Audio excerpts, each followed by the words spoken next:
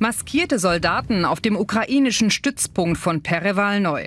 Die Basis ist nicht weit entfernt von der Regionalhauptstadt Simferopol. Hier weht die russische Fahne. Russland hat längst Tatsachen geschaffen. Und auch das Regionalparlament der Krim erhöht den Druck. Es hat sich dafür ausgesprochen, dass die Halbinsel der Russischen Föderation beitritt. Darüber sollen die Bewohner schon bald abstimmen. Wir haben entschieden, am 16. März ein Referendum abzuhalten für die ganze Krim, einschließlich Sevastopol. Referendum, Referendum skandieren Demonstranten vor dem Parlament. Sie sind russischstämmig, wie 60 Prozent aller Krim-Bewohner. Viele wünschen sich schon lange eine Anbindung an Moskau.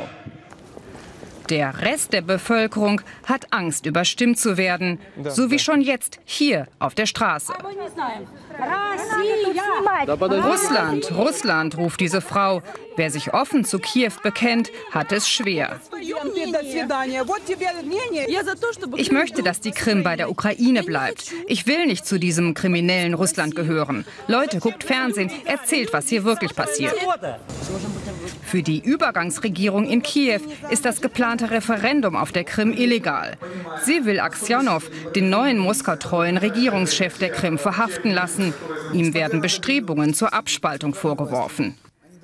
Dass es zu einer Festnahme kommt, scheint derzeit allerdings wenig wahrscheinlich.